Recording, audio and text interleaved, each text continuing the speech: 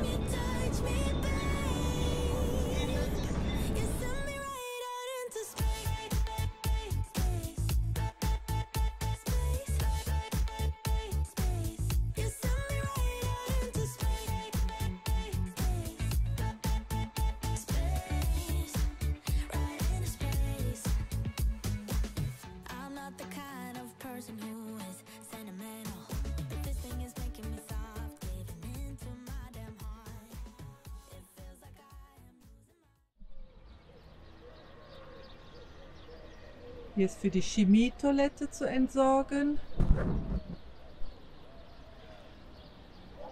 Zwei Stück. Dahinter ist die Mülltonne.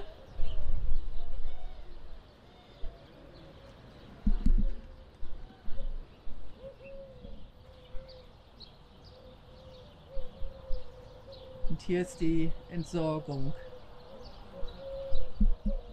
Das jetzt Frischwasser ist, steht leider nicht angeschlagen.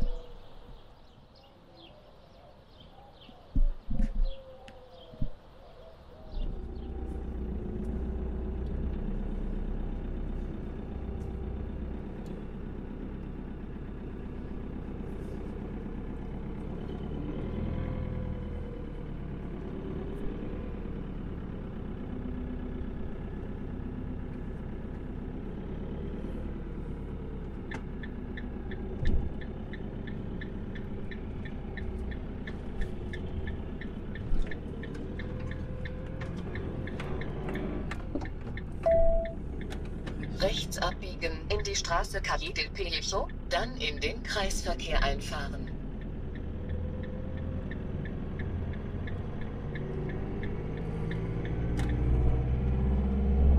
Den Kreisverkehr an der dritten Ausfahrt verlassen und in die Straße Avenida del Pino fahren.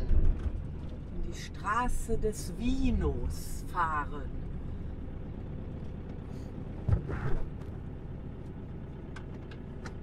Der Mini-Kreisverkehr, ne?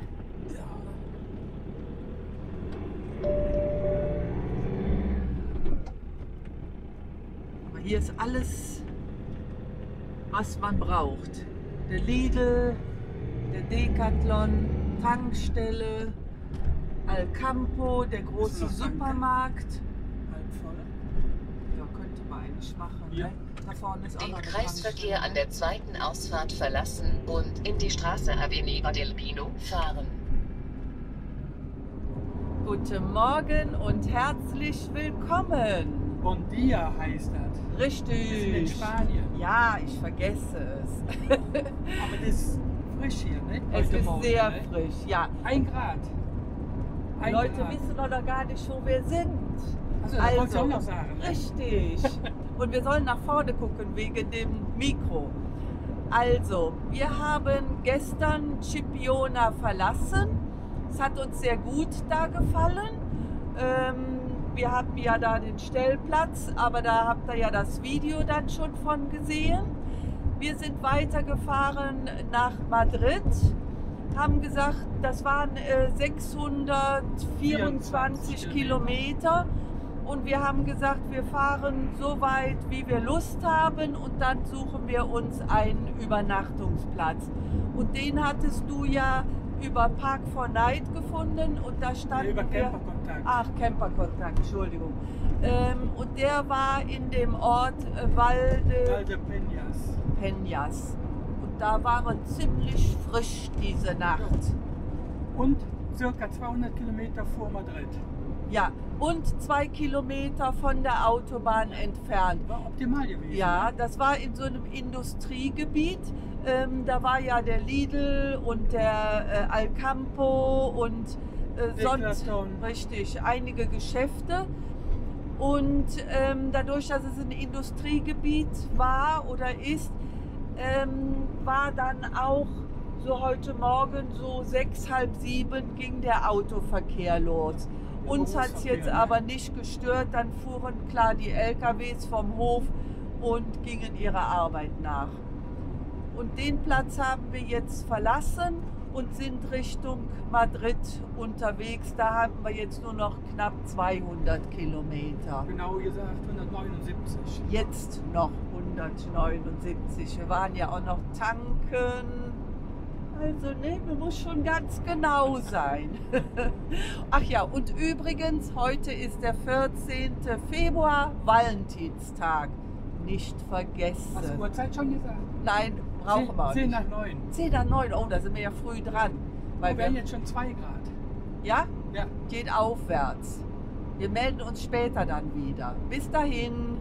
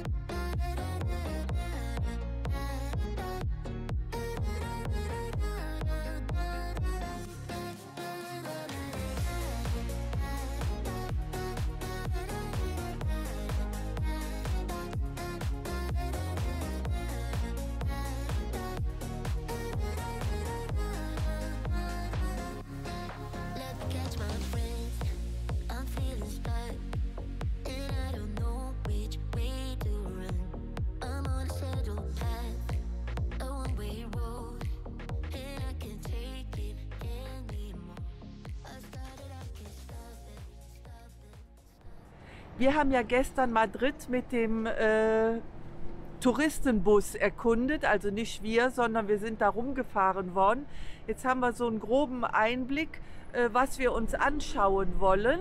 Und jetzt fahren wir mit dem Linienbus in die City. Das heißt, wir müssen erst den Bus nehmen und dann die U-Bahn. Ist aber wirklich easy peasy. Hier im Hintergrund ist der Stellplatz. Wenn ihr vom Stellplatz kommt, rechts runtergehen, da sind zwei Tankstellen.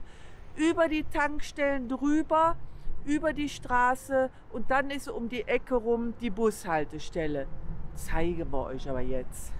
So, im Hintergrund sind jetzt die Tankstellen und wir gehen jetzt hier über die Straße. Und dort vorne um die Ecke rum ist die Bushaltestelle. Es kommt von da ein Bus, dann so hier vorne ist die Haltestelle. Und denkt dran, dem Bus winken, sonst fährt er weiter. Sonst winkt der zurück. Ja. So, wir sind jetzt an der Haltestelle Camino Pozzottio Ramundo. Und wir müssen hier Sierra äh, de Guadalupe. Guadalupe. Ja, da ist die Umsteigemöglichkeit für in die S-Bahn. Äh, die Fahrt kostet 1,50 Euro pro Person. Und die S-Bahn hat die Nummer 1, die Linie 1. Und in welche Richtung? Richtung Seoul, ne? Ja, also die, ähm, das Stadtzentrum ist Seoul oder Via Grande. Die beiden Haltestellen nehm- kann man nehmen, dann ist man im Zentrum mit drin. Wie die Fahrkarte für die äh, Metro ist, erklären wir euch gleich, wenn es was ruhiger ist.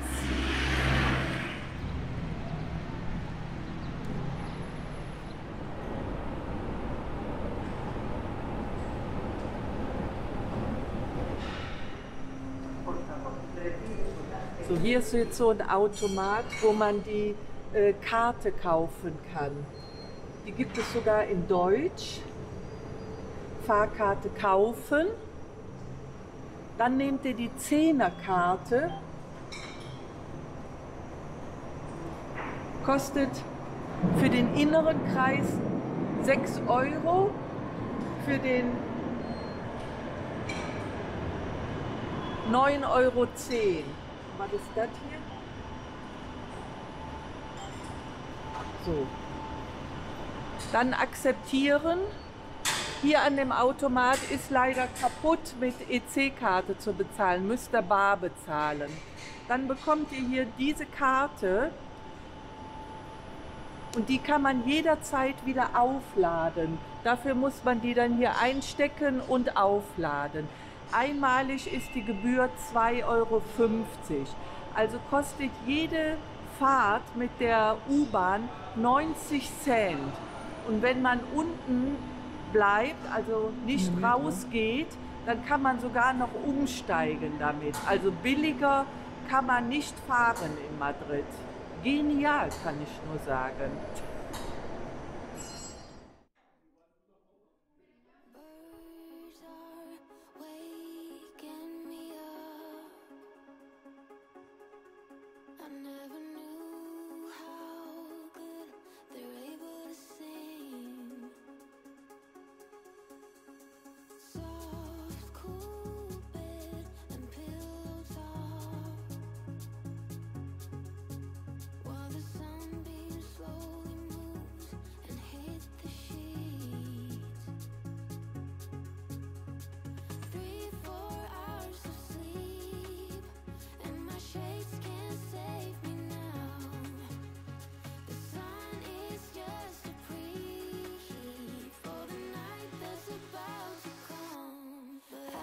Lost my phone,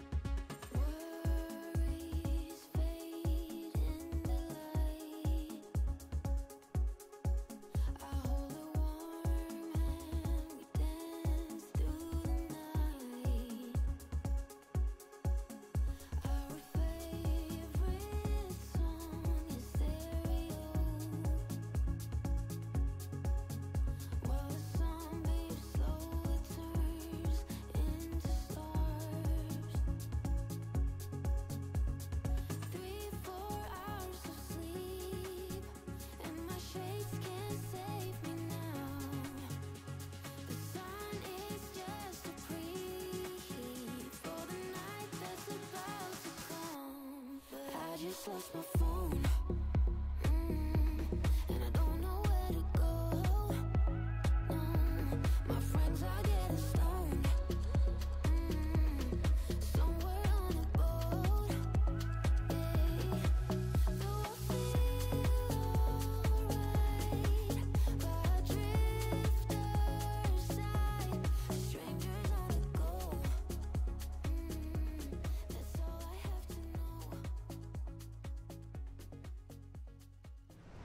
Hallo und herzlich willkommen aus der Megastadt Madrid. Kann man so sagen, ne? Ja. Wahnsinn. Wahnsinn. Wahnsinn, ja. Ich Wir- glaube, hier gibt es viel zu sehen. Ja, wir sind ja gestern mit dem Bus gefahren, haben da so einiges schon gesehen, was wir uns heute zu Fuß anschauen wollen. Unter anderem ist im Hintergrund das Rio Hotel. Und da kann man, vorne ist der Eingang für das ganz normale Hotel. Hintenrum gibt es einen Eingang, da kann man mit dem Aufzug auf den, äh, auf den Den 26. Stock fahren. Dann geht es noch eine Etage zu Fuß hoch. Dann sind wir also auf dem 27. Stock. Und der Ausblick, der ist phänomenal. Phänomenal. Man hat eine 360 Grad äh, Terrasse da oben. Der Eintritt kostet 5 Euro pro Person.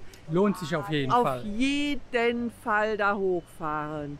Also irre. Aber was anderes. Was ist mit dem Wetter los? Ja, es ist ein bisschen kalt, ist es. Aber wir sind ja auch hier im Landesinneren und nicht an der Küste. Ja, wir hatten eben noch 7 Grad gehabt. Jetzt Aber dann kam ein bisschen die Sonne, aber jetzt ist die Sonne wieder äh, hinter den Wolken. Ja, also es ist Und es sollte eigentlich besser werden heute. Jo, aber wir nehmen nicht, wie es ist. Ne? Und jetzt fahr, gehen wir weiter. Wir stehen hier, haben wir das schon gesagt, am Plaza de España. Nee, haben wir noch nicht gesagt. Also, wir stehen hier auf dem Plaza de España, ein riesen Brunnen im Hintergrund. Ähm, und den schauen wir uns jetzt mal von der Vorder- und Rückseite an. Jo. Ja. Wolltest du noch was sagen? Im Moment, Im Moment nicht. nö. Alles weitere später. Hier in Madrid ist ja auch Karneval. Ja, Ja. aber da sind wir vorher schon weg. Ne? Aber man sieht ja nichts davon. Ne? Nichts, sie schmückt gar nichts. Ne? Wenn ich bedenke in Köln, ne? da steppt schon der Bär, ne? sozusagen. Also Morgen. ist sie schmückt. Richtig, wir haben heute den 15. Februar. Morgen ist Weiberfastnacht. Da jedet los. Ja, wenn eine Trommelchen geht. Ne? Richtig. Gut, Bis bis gleich. später mal.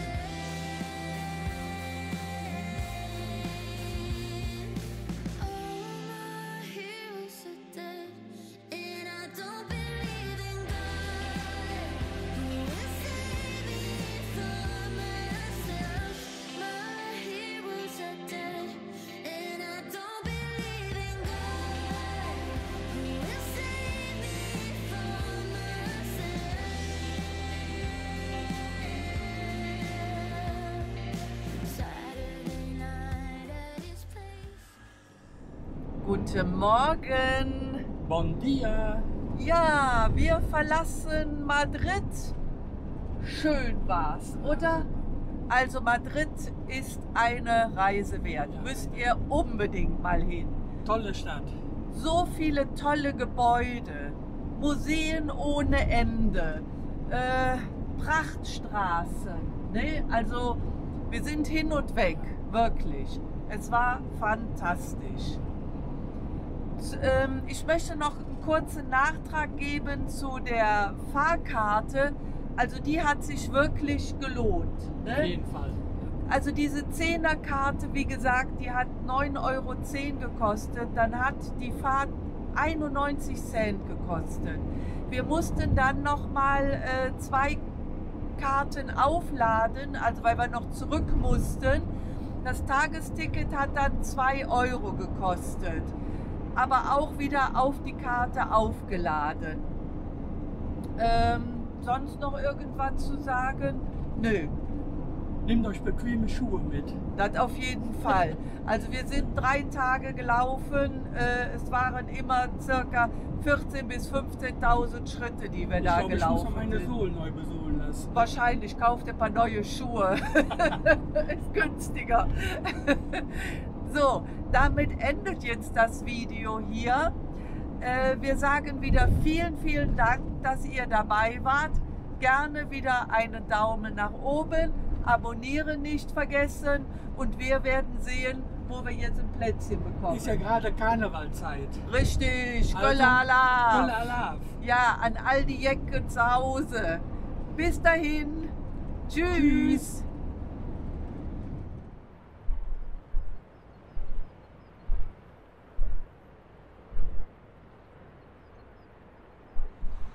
Hallo und herzlich willkommen aus Toledo. Buenos dias. Ja, wir sind von Madrid aus. Ist das nicht? Die ganze Zeit war es ruhig. Mann! Jetzt kommt der Bus, die Autos. Also, wir sind von Madrid aus, circa 70 Kilometer waren das, nach Toledo gefahren und stehen hier auf einem Campingplatz. Es gab jetzt keine Alternative dazu. Ne? Ich glaube, sonst nur äh, Parkplätze. Ne? Und wir werden jetzt hier mal den Ort erkunden. Wir sind jetzt in die Innenstadt gelaufen vom Campingplatz aus, waren 6800 Schritte. Das Ja. waren aber gut jetzt 30 Minuten, ne? Aber wir sind noch langsam. Sehr langsam Ne? gegangen, ja. Weil wir von Madrid steckt uns noch in den Knochen und äh, hier geht es bergauf, bergab. Ich denke, ein bisschen mehr bergauf, ne? Ja, aber was drauf ist, muss er wieder hungern. Eigentlich ja, ne? Also. so, und wir suchen jetzt gleich erstmal ein Kaffeegut. Ich brauche einen Kaffee. Ja. Ne? Gute Idee. Gut, bis gleich. Bis gleich.